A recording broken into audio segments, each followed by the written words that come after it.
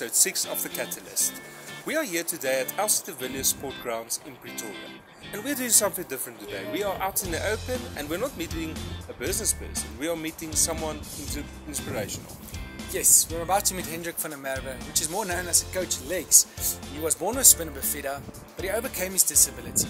He became a national swimmer and also a swimming coach. These days you'll find him motivating others with motivational speakers and his YouTube videos. So let's go meet the guy after the behind the scenes. Let's go. Hendrik, thank you for joining us on the Get List. This is our sixth episode, and uh, yeah, welcome and thank you for making time for us. It's a nice hot spring day, so I think PJ, give us. We had a drink, and we gonna. You said you like gin and tonic as well. Oh, sounds so very good. Tonic, PJ, if you can give us a nice gin and tonic, so we can enjoy while we're having this interview. Now we've actually known each other. Thank you. For a while, yeah. Cheers. Yeah, cheers, cheers, cheers. We've actually known each other since childhood.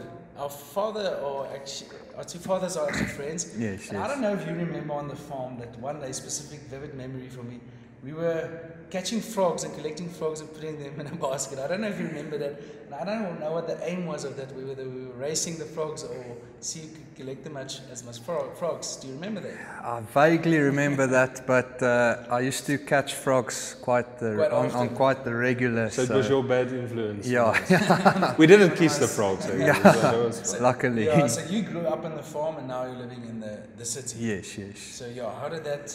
Happen maybe from, if you can just take us back a little bit? Um, well, I actually went to hostel at the age of four and then in Johannesburg and then standard two, grade four, I went back to the farm and I was in school there till high school and then I went back to Johannesburg and then uh, grade 10 when I was 16 I came here and I really started chasing my swimming career. Yeah, in Pretoria. At yeah, at Tuks. Yes, yes, So when did you start swimming? At high school or earlier than? Uh, I always messed around in the dams and stuff as a kid swimming. And then, uh, yeah, when was it? 14 years old, I started. And then 15 years old, I swam my first international competition. Okay. Yeah. And then 16 years old, that's where we really started pounding the mileage. Yeah. So, was swimming a passion of yours, or was it just a talent you naturally had? Um, in grade 8 and 9, the hostel I was in was very bad. We used to get into fights the whole time.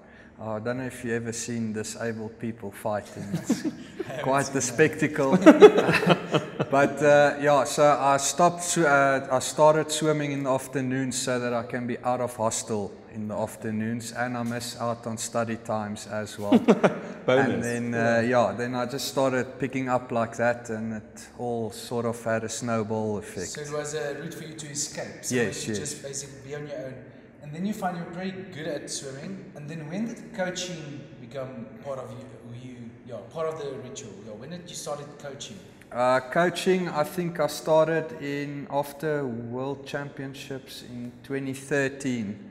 I had to start uh, making my own income, so I did coaching and swimming. It was kind of hard to balance, but yeah. that's why I retired last year because I need to make a living as well. But at least I'm still involved in the sport, so I really enjoy that. So you're 100% in coaching now, yes. and not just that, you're a very motivational guy. You do motivation speaking as well. Yes. yes. And um, I love your Instagram um, well, your, and YouTube. Your name is Coach Legs. Yes, yes. So, so maybe you can just uh, tell us about the name. Um, the name Legs I got in, think it was on it was on swimming tour 2006. I think if I remember correctly, uh, two of my uh, friends gave me that name. And it just stuck throughout the years. And then uh, me and my roommate Rob started a business called Coach Legs, and it's where fitness and motivation come together. Yeah. So used something that's making lemonade out of lemons. yes, yes. Sometimes what's in the way is the way. yeah, that's, that's, that's very good. yes, yes. Now, um, and I've watched, like we just said, you've got an Instagram, and, and people at home that haven't seen it, it's very motivating for me. And um, I'm sure a lot of people will find it motivating. But what motivates you? What, what makes you get up in the mornings and like really look forward to the day?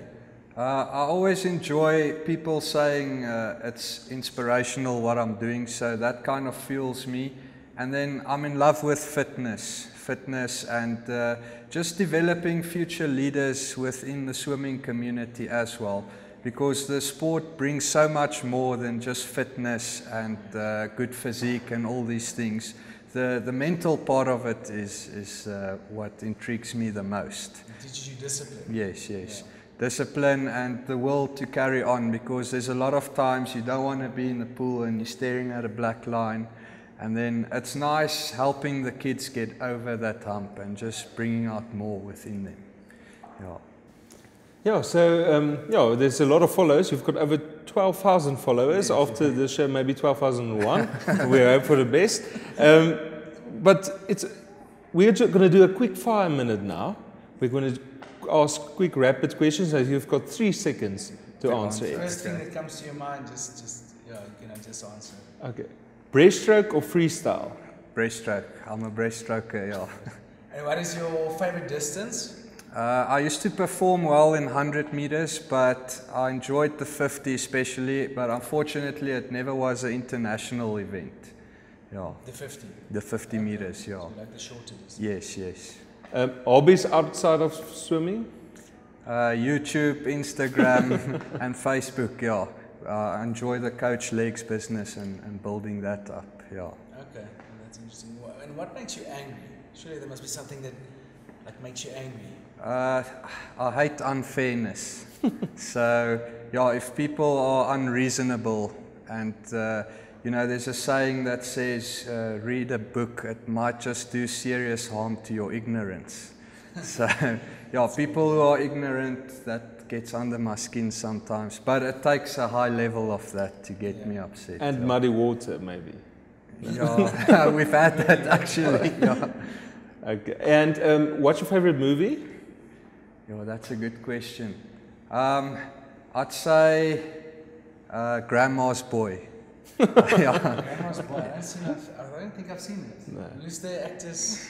Um, yes, I'm not sure the name. But it's not the Oscar-winning movie. No, doesn't no. sound like that. No, Yeah. so it's more comedy, or do you like comedy? Yeah, I mostly watch comedy or action. John Wick is also one of my favorites. The Okay. action scenes in there is very deep, and uh, Keanu Reeves actually really trains with weapons and stuff to make it look more legit uh, within the movies. Yeah, Okay.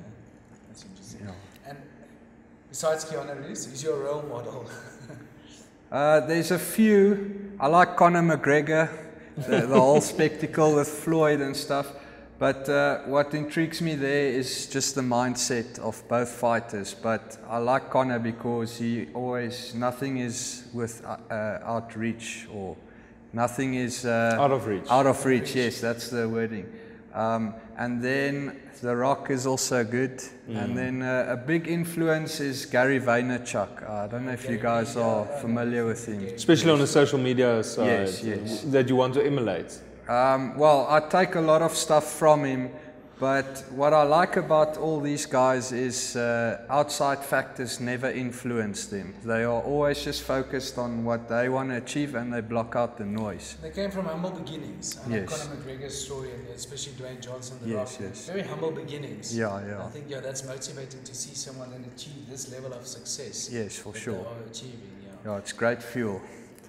So, and for Coach Legs going forward, so is it so it's going to be a half training, half social media, or where do you see that? Um, well, the social media, as Gary Vee would say, it's just documenting. It's not creating content. So um, I look to go further with all the public speaking stuff, and then eventually supply people with uh, workout routines, nutrition routines, not just uh, stuck to gym or just swimming across the whole board, just for general fitness and well-being. That's able bodies and disabled bodies. Yes. You, you coach everyone. You're willing to coach anyone. Yes, anyone yes. to Anyone. learn, yeah. And then uh, I also wrote a book. It's just uh, in the stages of proofreading. So when that's out, that will be good Yeah, as we'll well. Definitely Yes, yes. want to look out for that. All right, I'll well, definitely Thank, read thank you. and, and, and just, I think towards the end, what, what would you tell someone, um, your younger self, someone that's just starting high school perhaps?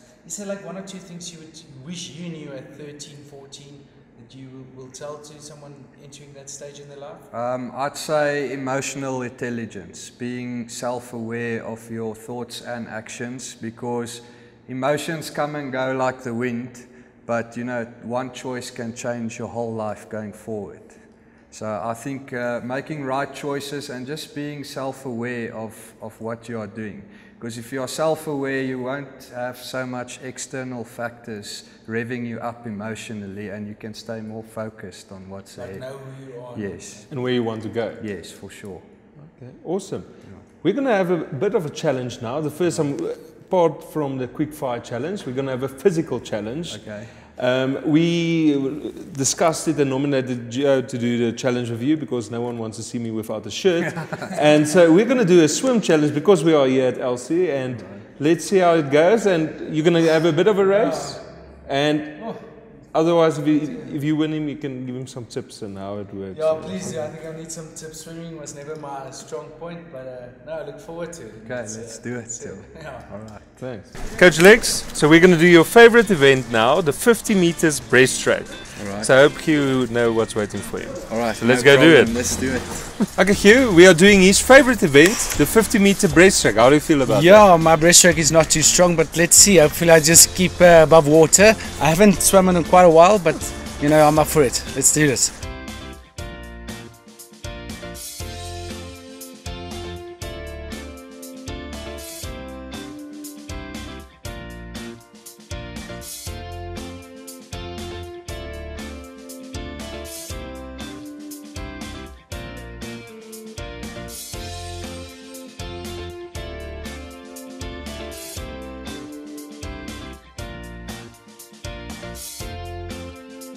I don't know if it looked like it, but I gave it my all. I really used my legs and everything. And kudos to him, it was a good race. I lost my glasses at the beginning, so I do want to take him on in freestyle. But I must congratulate him on the breaststroke. He kicked my ass, yeah. Well done. He also had me there on the first 25. Hendrik, how was the race? Uh, it was very good. I felt good in the beginning, but the last 10 meters I was hurting. Um, I went to gym as well this morning, so it's a bit tough, yeah. And what do you think about when you swim like eight hours long? Um, when I used to swim so much, focus on stroke, uh, you focus on the goal at hand, holding the right pace within the session, and then obviously fighting your thoughts of saying you can't go anymore. That's the biggest one. And what would you say to someone that wants to start swimming? So just climbing in the pool or Um, I'd say see work on the fitness first on how long you can go without stopping. Take small breaks and then continue after that again and get that time period longer and longer to build a nice base first for yourself. Okay, good. Let's see how the second race goes. okay, Geo, I don't know what's correct term, but I think you got your ass kicked there. Yeah, I know, that is the correct term. No, Hendrik is a hell of a competitor, but I, we're going to do freestyle now. I'm a little bit more comfortable with the freestyle. So let's try that. Let's see if it, it goes a little bit better. We we try until you win something. or until I drown. Let's do that. okay.